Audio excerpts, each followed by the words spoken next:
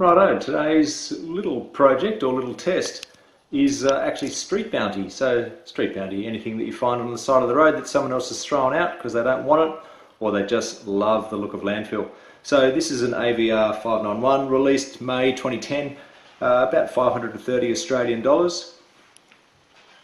This one was out in the rain, dried it off, bang, fired up first time. Now this one did not come with a remote control. Here we go. We've got some sound there, sounds like hunters and collectors. Uh, this one did not come with a remote control, so the reason that's important is you can't really use this amplifier without a remote control. But let's go a little bit more in depth into the amp and see what we can find out, see if it's still worth listening to or looking out for in 2023. So that's the front. That's the back panel. So basically, what do you get? You get one, two, three, four HDMI, one HDMI out. Now these are 1.4A HDMI, which means they support both 3D and also audio pass-through, which means that they can support uh, audio backwards and forwards. It's also got ARC, which is audio return channel, and I'll talk about that in a sec. You've also got a Toslink, which is optical, SPDIF. You've also got a coax. You've got one, two, three analog RCAs down there. Speaker binding posts for front, center, and surrounds. So you don't have speaker binding posts for B speakers or remote speakers. But what you can do is you can amplify the outputs here so that you can have pre-outs uh, for a second amplifier to run B speakers. So you've also got um, RGB, so that's a signable component, and 123 composite. So fairly basic. But this does have a bit of a hidden gem for its age, and I'll show you that in a second. So the ace that this amplifier has is on-screen display. So there we go, use my trusty remote. Now this remote is a third-party $12 eBay special, RC1149 if you're looking for one. So all of the functions are duplicated You've got, let's see if I can focus that. Yeah, you've got quick selection, Blu-ray disc, satellite, and also an iPod dock. So this is optimized for iPod uh, use, and it's an, it'd be an old 30-pin iPod dock considering this is from 2010. So if I press menu, we go, we've got a couple of different functions here. Audio adjust, you've got information on signal, you've got information on HDMI status, you can go to automatic setup mode using an Audyssey setup mic. And I just happen to have an Audyssey setup mic here from another project. You can see that's a legitimate uh, Denon Audyssey setup mic. Now you actually don't need a special Audyssey mic when you're doing these tests. All you need is any microphone with a long enough lead that's got a 3.5mm mono plug there that you can see. So that's a genuine one and I've got plenty of these microphones with long leads and you can use anything you like as long as it's got a mono 3.5mm plug. These are all the channels that I've manually put in which are east coast of Australia channels. You can put in 56 storage locations, only 8 for AM. Not really uh, suitable for, for uh, AM users here. I'll just go back. You can also do direct frequency entry if you want. So this is our front panel. Got a master volume on the right hand side, Got some basic menu buttons here, got return, got surround mode, menu button, and then quick select. So quick select allows you to go into some basic uh, programming. Uh, you can select the source, you can rotate that through dock, V.AUX, game, satellite, TV, DVD, Blu-ray, and back to the tuner. So now if I plug in this 3.5mm mic, watch what happens goes into calibration and also automatically detects on your monitor that you've got a Audyssey microphone plugged in and then you can start your test. So we'll do that. We'll press start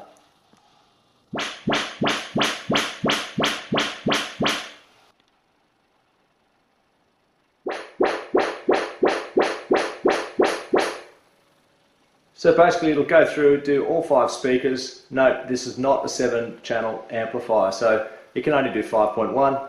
My speaking is going to interrupt it, but I'm going to cancel this in a second. I just wanted to show you what it was like and what the process was. That was an Audyssey auto speaker tuning. So it'll calibrate distance, it'll calibrate frequency response. I don't know if this one does phase. I've got an AVR 2805, which is my primary home theatre amp. It does phase detection, and I've got other amplifiers that have also done uh, do phase detection automatically, which is pretty neat. So we'll just cancel that, cancel, get out of there, cancel the auto setup.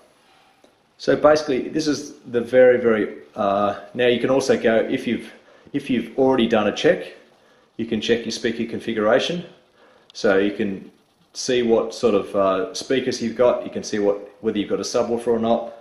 You can basically check whatever you like. You can also check distances. So these are just some generics. And you can also adjust channel level, which is quite handy. So this is the, the start of the, uh, the test that I did, and it did save some parameters. You can do uh, crossovers, which is pretty neat. Here we go. So you can either use a, an Audyssey uh, tune or a flat tune. So Audyssey will basically use the room acoustics and flat will just be flat 0 dB across all frequencies. You can also restore that to factory, so I'll do that. Yep, alright, done. So go back, go back. So basically it's a fairly standard amp. Uh, I'm not going to test volume. The speakers I'm using for the test are just some, basically they're also council throwouts. Nothing special at all, but it just lets me test this. And this has got 120 watts per channel, this amplifier, and it's got five discrete amplifiers, so that's pretty good. So if I want to change the surround mode,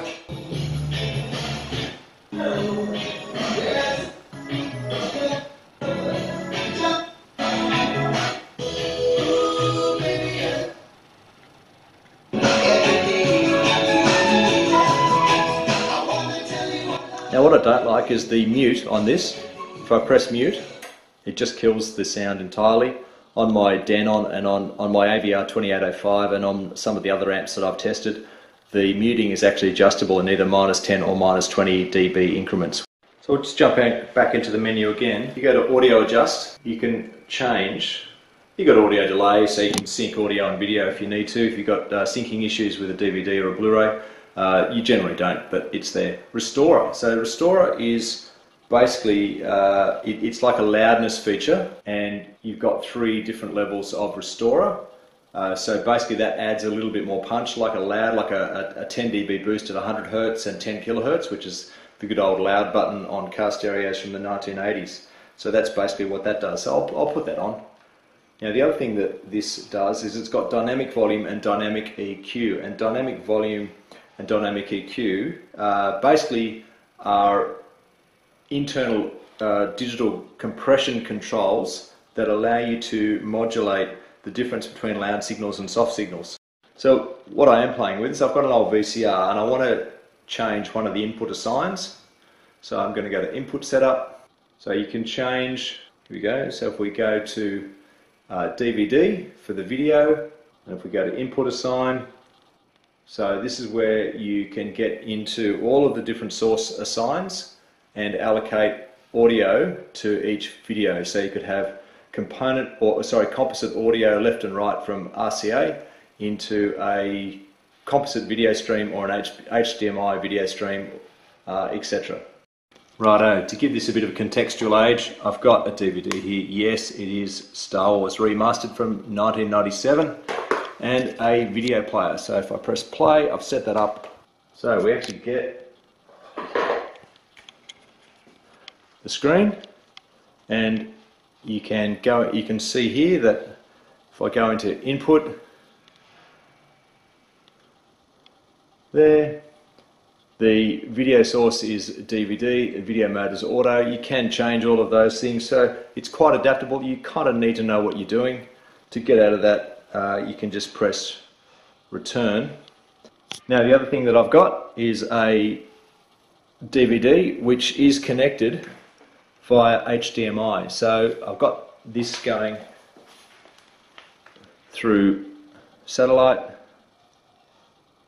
CBL. So if I open that, oh, sounds fantastic.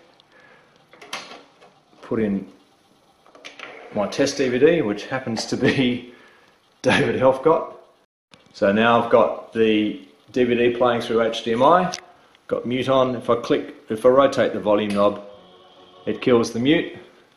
And there's our 570 interlaced source. Oh, David Helfgott getting a little bit jiggy with it. That's pretty much this amplifier. So the things I really like about it, you get a ton of power. 120 watts by five channels is plenty. It's got audio return channel and it's got something called CEC. It's got analog video up conversion to HDMI, so it'll up convert that really, really rubbish uh, VHS signal into 1080p, although, as they say, you can't polish a turd. You get six measurement points with the Audyssey mic, so I'll pull that out because we're not using that anymore. You've got dynamic volume adjustable between three modes, maximum, middle and uh, minimum, which is called midnight, evening or day.